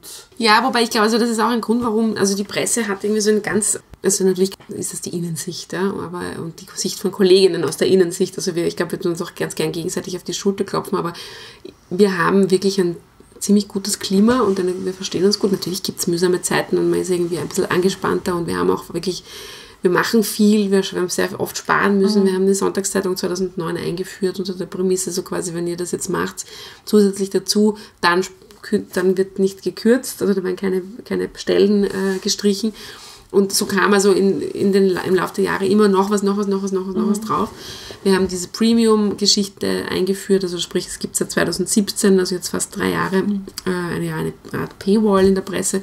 Auch dafür gab es dann sozusagen neue Abläufe in der Zeitung und man musste mehr tun. Also all das war schon irgendwie immer sehr fordernd. Mhm. Aber wir haben, I don't know why, aber wir haben wirklich ein, ein gutes Klima und diese Egomanien sind bei uns, glaube ich, wirklich im Vergleich zu anderen mhm. relativ gering ausgeprägt. Mhm. Ich habe es, glaube ich, auch weniger bezogen jetzt auf, auf, auf ein Team Ja. und, und die, die Presse als, als ein Unternehmen, sondern überhaupt diese Medienwelt im Ganzen. Das meine, du bist ja, Ja, ganz viel stimmt, ja. in Konkurrenz mit anderen. Ja, aber da muss man, glaube ich, einfach cool bleiben. Und ich, ich habe das gerade auch im Medienbereich, Schreiben über andere, sehr stark gemerkt, wie schnell sich Menschen auf den Schlips getreten fühlen, wie schnell Menschen dann auch, also ich meine, das ist halt die Aufgabe eines Medienjournalisten, über die anderen Medien zu schreiben und auch die problematischen Dinge, die sich dort tun. Und nicht, wir sind ja nicht auf der PR-Unit für, weiß ich nicht, den Standard oder sonst irgendjemanden. Das ist schon oft sehr heikel gewesen, aber da muss man, glaube ich, einfach sich wieder auch relativieren und sagen, ja gut, das ist ist so, dass es für die nicht leicht, für niemanden leicht, irgendwie plötzlich Berichterstattungsobjekt zu sein oder Subjekt eigentlich. Aber ähm, das ist mein Job und aus, ja. Also, ähm, also das, aber es stimmt natürlich, diese, diese Eitelkeiten sind schon stärker geprägt. Wobei ich finde es ehrlich gesagt nicht so schlimm. Also vielleicht bin ich da ein bisschen. Man muss damit umgehen. Vielleicht muss man auch mal drüber stehen. Ja, ich glaube, natürlich ist es, nämlich die Eitelkeit ist vor allem ja deswegen da, weil da ständig dieses, du, weil du dich, gerade im Fernsehen auch vor allem, weil du halt ständig da in dieses Außen trittst und ständig irgendwie mit anderen Menschen zu tun hast. Oder, oder was von dir hergibst, ja. Und dadurch entsteht natürlich irgendwie automatisch so ein gewisses, naja, also ich meine, ich gebe ja was her und ich bin ja sichtbar und so. Man steht ja auch ständig eigentlich unter Beobachtung und wird beurteilt, nicht nur nämlich von Kollegen und Kolleginnen, sondern auch von den Lesern und Leserinnen. Ja, genau. Also, dass man da wahrscheinlich eine etwas dickere Haut braucht, die dann wahrscheinlich auch dazu führt, dass vielleicht auch so eine Art Schutzschild aufbaust, damit es halt, also das, das glaube ich ist ein, ein, ein, ein zweischneidiges Schwert. Ich glaube, dass man das, und dieses Schutzschild, glaube ich, baut man sich im Laufe der Jahre auf und man kann sich ja auch immer selber entscheiden, also wie weit man hinausgeht. Ich finde, es gibt da so viele unterschiedliche Zugänge auch von Menschen. Es gibt ja, man glaubt es kaum, Journalisten, die nicht auf Twitter sind oder auf Instagram und die sich nicht diese Fights liefern und die einfach ihre Arbeit, also es gibt sogar, glaube ich, der Mehrheit, die Mehrheit Ja. unserer Journalisten sind Menschen, die ihre Arbeit machen, gute Geschichten schreiben wollen und nach Hause gehen am Abend und nicht irgendwo Selbst auf Bühnen stehen, wollen, die Marke, also ja, und das vergisst man immer wieder. Natürlich, und da gibt es die anderen, sagen wir mal 20, 25 Prozent, die das machen, weil es halt aber auch jedes Medienunternehmen, finde ich, braucht. Also das ist jetzt Ohne ein ganz neues Thema, das aufgeht, aber man kann sich natürlich immer fragen, was, was muss das sein? Äh, Aber ja, ich finde schon. Es braucht eine gewisse Gruppe einer Zeitung oder einer Marke, die nach außen geht, um diese Marke auch für die Ja. ein Gesicht zu liefern. Ja. Ja. Nämlich auch, die, und das, wie du es vorher so gesagt hast, auch die Tonalität nach außen zu sein. Genau. Und auch natürlich sich die Watschen abzuholen. Das ist natürlich manchmal auch nicht leicht und nicht leibernd, wenn man dann irgendwie für Fehler anderer im Haus oder auch an, an sich äh, für, für Dinge, die man so und so macht, einzustehen. Ja? Äh, Aber das muss man halt dann irgendwie aushalten, ja, finde ich. Und ich bewundere Leute, das kann ich an der Stelle sagen, äh, weil, du, weil, weil du gesagt hast, Schutzschild. Also ich glaube, also ich habe jemand, ich habe dieses Schutzschild mir schon auch erst langsam zusammenziehen oder aufbauen müssen. Darum finde ich Menschen wie Nicole Schöndorfer oder, oder andere, egal wie man jetzt zu ihren Inhalten steht, echt bewundernswert, weil ich hätte das in dem Alter nicht gemacht, glaube ich. Und ohne ein Medienhaus im Hintergrund. Ich meine, das ist wieder die alte Debatte, also Henne und Ei umge umge umgedreht. Vielleicht ist es leichter, wenn man kein Medienunternehmen im, im Rücken hat, weil man dann einfach für sich selbst kämpft und spricht und ich hätte mir immer schwer getan, in der Tonalität und so mich zu wehren und auch da wirklich auch teilweise sehr auszuteilen in alle Richtungen. Das ist genau der Punkt, also was in einem Unternehmen, das letztlich deinen, dein Gehalt zahlt und dem du viel zu verdanken hast an, an, an dieser Plattform. Da finde ich, ist schon die Professionalität gehört dazu, dass du das eben nicht total ausreizt. Und es macht dich, es ist witzig, es macht dich ökonomisch freier, weil du ein fixes Einkommen hast, aber es macht dich eigentlich inhaltlich und weniger frei, weil du natürlich immer bedenken musst, für wen du da arbeitest und für wen du auftrittst. Ja, ich kann mich jetzt hier nicht zu euch setzen und über alle möglichen Menschen abkotzen. Ja, ja. Weil dann würde ich wahrscheinlich, Ja. spätestens wenn ihr das online stellt, würde ich wahrscheinlich meinen letzten Arbeitstag gehabt haben. Das wollen wir nicht. Wobei ich jetzt auch sagen muss, ich habe diese Energie nicht in mir, dass ich das jetzt unbedingt machen möchte. Aber Ja, nein, Ja. Ich, ich, ich meine, ich, in Wahrheit ist es doch, ich meine, es ist ja viel Thema so, wie sich Menschen in so, Social Media darstellen und, Ja. und wie laut man ist und so. Und dass das alles so neu und so Ding ist, das finde ich ja nicht ganz so, weil ich meine, es gab immer schon eine Form von Dorfbrunnen, in welcher Form auch ja, immer. das stimmt sicher. Ja. Und ja, und ich bewundere Leute, die, die alle immer ihre Meinung offen und ehrlich sagen. Weil ich sag, ich glaube, auch, auch, auch wenn, jetzt kein, wenn du jetzt als, als Privatperson das sagst, weil du halt dich immer angreifbar machst. ja, klar. Und es bleibt vor allem in vielen Bereichen einfach auch immer äh, da. Und du kannst es, es googeln, suchen, nachschauen. Glaubst du, dass, glaubst du, dass, das ist, das ist ja so ein Thema ein bisschen, finde ich, dass dadurch, dass ein Medium zu sein, ja eigentlich relativ einfach ist derzeit. Du kannst am Mikrofon hinstellen, das aufnehmen und fertig. Du kannst deine Meinung irgendwo hinschreiben, wie auch immer. Glaubst du, dass, dass, sie, dass das die Medien tatsächlich nachhaltig verändern wird? Nein, ich, also ich glaube, es ist ein bisschen so mit dem, also das, was jetzt die Podcasts sind, ist natürlich ein bisschen so wie die Blogs früher waren. Nur, dass der Unterschied ist, dass es leichter ist, was anzuhören, als was zu lesen. Ich glaube, es verändert die Branche insgesamt in dem Sinn, dass man sich eben inspirieren lässt, dass man sieht, aha, manche machen es so und so und so, dass sie teilweise Vorreiter auch sind in gewissen Sachen, ähm, aber dass sie äh, wirklich richtig verändern, tun sie nicht, die Medienbranche, glaube ich nicht. Ich habe jetzt noch eine Abschlussfrage zu meiner Ja. großen Frage. Und zwar, hören sich deine Eltern deine Podcasts an und geben sie ein Feedback dazu? Das ist, passt zum Punkt äh, unterstützen und supporten, ja. Allerdings ist äh, zugegebenermaßen das die Generation, denen ich erst einmal erklären musste, wo man das äh, anhören kann und habe es meinem Vater dann auf seinem Handy gezeigt und eingerichtet. Bis jetzt habe ich jetzt noch nicht so ein Sub, also nicht so ein in- Into Deep Feedback bekommen, aber vor allem am Anfang haben sie sich jede Folge angehört und mein Vater ist aber dann, mein Vater ist ein sehr direkter Mensch und hat dann auch gesagt, ja, das sind, also zum Beispiel die Anna Thalheimer Folge, also das hat mich nicht so interessiert, ja, also das hört er sich dann nicht so an, ja. Ja. Aber ähm, sie, sie verfolgen eigentlich schon sehr genau, was ich mache. Ich glaube, es ist das Einzel Einzelkindschicksal. Aber die gesagt, die nächste große Frage für Ja. dich.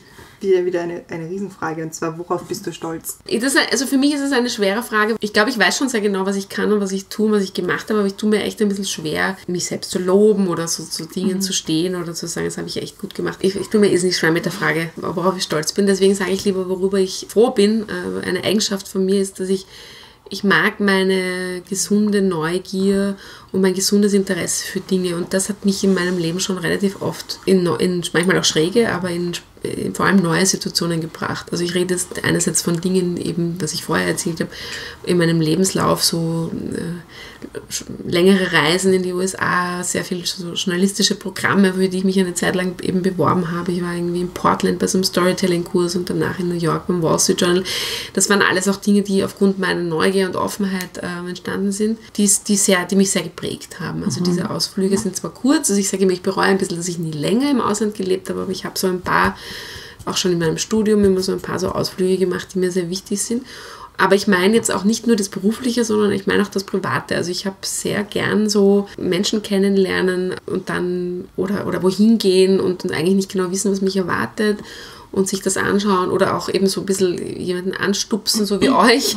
Und jetzt sitze ich da und rede mit euch. Also das macht mich sehr froh und darauf ist stolz, das ist ein falscher Begriff, aber ist was, was ich gern, was ich wirklich gerne an mir habe, weil ich, also manchmal nervt manchmal nervt auch, gebe ich zu, weil du dich damit natürlich immer wieder über, überforderst, vor allem zeitlich und du kommst halt dann in Strudel und denkst, ah, das noch und das noch, ah, und das will ich auch noch. Also, was mir sehr schwer fällt, ist Fokus in vielen Dingen. Das merkt man an vielen, vielen Sachen. Ähm, auch manchmal im Antworten von Fragen. Deswegen beende, ich jetzt die Antwort, ja, weil ich dann wieder vom Hundertsten ins Tausendste komme. Ich finde es so, ich finde es so, so schade und so witzig zugleich, dass diese Frage, worauf bist du stolz, das ist immer die Das ist immer meisten die schwerste Frage. Ja, für die meisten. Für alle. Ich glaube, weil das einfach deine Eitelkeit ganz stark anspricht oder Eitelkeit. Wenn man es wirklich ehrlich, wenn man ehrlich zu sich und dem Gegenüber ist, ist es eigentlich eine ganz einfache Frage, weil jeder hat wahrscheinlich irgendwas, worauf er stolz ist. Aber irgendwie tut man sich dann ein bisschen schwer, ne? was soll ich jetzt sagen? Und ich weiß nicht. Und, Ja. mhm, und Das ist auch eine Frage, da, da denkt man normalerweise nicht so drüber nach. Also man setzt sich hin und denkt, so, ja, worauf, worauf bin ich jetzt stolz? Also man, man vielleicht zwischendurch im Alltag, wenn man irgendwas fertig geschafft hat in der Arbeit oder so, denkst du, ja, super. Ja, super, genau. das das findet habe. man dann aber fast ein bisschen banal, Ja. sowas zu sagen. Nicht? Ich habe die letzte Frage in diesem, in diesem Ja. langen Teil. Und zwar, was bringt dich zum Lachen? Zum Lachen bringt mich Situationskomik. Freunde, die, also sehr, ich mag sehr gern so Insiderwitze. Also wenn man was erwähnt, was man, wo nur zwei Menschen wissen, warum man jetzt lacht. Und zum Lachen bringt mich auch, manchmal zwar auch gegen meinen Willen, weil ich so ein grumpy Morgenmensch bin oder so, mein Freund, der Axel, der äh, eine Gabe hat, zu jeder Tages- und Nachtszeit verrückt verrückte Dinge zu tun in der Küche und zu tanzen und irgendwie rumzuwirbeln und ich bin eher nicht so. Also ich bin eher so mehr der, ja, wie gesagt, vor allem in der Früh grumpy Typ. Ich kann mich aber meistens nicht so ganz dagegen wehren, dass ich dann nicht doch lache am Ende. Ja. Kannst du dich selbst lachen? Ja, ja, ja, ja, jein. Ja, kommt drauf an, in welcher Stimmung ich bin. Ja, ich bin jetzt nicht jemand, der nie über sich selbst lacht, aber manchmal finde ich es auch blöd, wenn jemand anderer zum Beispiel anfängt, über mich zu lachen, dann will ich manchmal nicht mitlachen. Ja, das ist halt Was ist so dein, so dein Comedy-Tipp? Oder dein Go-To-Comedy-Podcast. Ja. Damit man das habe ich keinen. Ich gebe zu, da bin ich im Bereich Comedy-Podcast, bin ich nicht so. Das habe ich irgendwie, ich habe früh begonnen, also geliebt, weil ich vorher FM4 gesagt habe, Stermann und Grissemann, Salon Mhm. ja. Helga. Ich schaue heute noch ganz gern die beiden bei Willkommen in Österreich, Mhm. obwohl ich finde, dass es langsam irgendwie ein bisschen sich totläuft.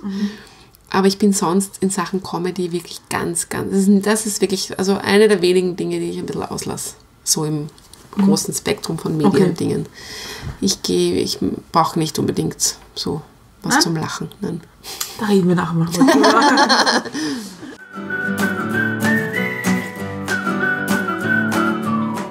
Wir sind am Ende angelangt, wie jede Woche. sind wir auch heute zu einem Ende gekommen. Wir haben vorher, bevor wir aufgenommen haben, gesagt, dass die Annas immer die längsten Folgen sind. Ich glaube, es hat sich. Wie schauen wir aus? Kannst du nicht sagen, weil es steht hier immer nur Takte und keine. Aber wir werden Ja, sehen. nachdem ich eine der Annas, die ihr hattet, kenne, die Anna Vetter, die ich jetzt grüße, die hört hoffentlich zu. Aber wir kommen jetzt zu unseren Abschlussfragen. Weil wir haben jetzt eh schon eigentlich sehr spezifische Themen abgedeckt und auch relativ viele Ab Themen, abgedeckt. Aber gibt es etwas, was du sonst noch gerne an die Hörerinnen und Hörer Ich mache jetzt, ich nutze es schamlos aus, mache nochmal Werbung für Gerne. 1848, die Presse, der Podcast, überall dort, wo es Podcasts gibt. Nie länger als 18 Minuten, außer die aktuelle Folge. Das weiß ich jetzt gerade, weil ich gerade vorher erfahren habe, dass die im Schnitt doch ein bisschen länger wird, weil sie so lustig war äh, oder so spannend war. Nämlich Anneliese Rohrer und Hans Winkler, unsere beiden Kolumnisten, diskutieren über die aktuelle türkis-grüne Bundesregierung. Ja, also das ist mal, ist mir eigentlich das wichtigste Anliegen momentan, dass wir noch ein bisschen mehr Hörer bekommen, weil wir, es gibt uns eben erst 15 Wochen lang und wir probieren da was Neues und ich freue mich, wenn, man, wenn, ihr, wenn ihr reinhört und, und äh, uns auch Feedback gibt und uns abonniert und vielleicht auch ein paar Sternchen auf iTunes gibt oder Apple Music gibt. Wir werden es auf jeden Fall in den Shownotes verlinken und am Blog verlinken und auf Instagram verlinken und überall, wo wir halt sonst noch was hinschreiben können, werden wir darauf hinweisen. Und auch ganz ehrlich, von mir, also das muss ich, muss ich ganz ehrlich sagen, wahnsinnig toller Podcast. Also ich höre ist ein wirklich gern. Ja. Und abgesehen von, dass du deinen Podcast bewirbst, muss ich sagen, wirklich mal anhören, echt gut. Mhm. Gefällt mir wirklich. Freut mich und an dieser Stelle, ich habe ihn zwar schon erwähnt, aber der Georg Frera ist mein Partner in Crime in dieser Sache und der Rainer Nowak, unser Chefredakteur, kommt sehr oft in dem Podcast vor. Also wir drei sind da die, die das nach vorne bringen wollen und freuen uns über jeden Hörer und jede Hörerin. Alle Leute, die für Podcast kämpfen, sind dabei. Mir bleibt es noch, mich zu bedanken für die Zeit und für das Gespräch und die ehrlichen Themen und alles. Und ich habe es wirklich total spannend gefunden. Wir waren, ich muss sagen, wir waren diesmal ein bisschen aufgeregt. Aha, weil wir schon sowas. gewusst haben, das ist aus der Branche, das ist irgendwie Podcaster unter sich, das ist halt schon eine eigene Geschichte. Und da haben wir schon, waren wir schon ein bisschen so, hoffentlich werden wir dem gerecht. Aber es war total super und echt, echt Dabei seid ihr ja viel mehr, viel länger im, im Geschäft als ich. Also eigentlich bei ich die, die aufgeregt war. Weil ihr seid ja die Podcast-Experten im Vergleich zu mir. Das werde ich ab jetzt in meinen Lebenslauf. Genau, mach das. Aber es war wirklich super und echt ganz toll und danke für die Zeit, für, die, für das Gespräch. Ich habe jetzt die aller, allerletzte Frage für dich und zwar, wie trinkst du jetzt deinen Kaffee? Ich trinke meinen Kaffee meistens, also wie ich vorher schon erzählt habe, in verschiedensten Varianten zu Hause, ohne allem. Also Bialetti-Kanne einfach schwarz und sonst gern Melange mit so gutem Milchschaum dazu, aber nie mit Zucker.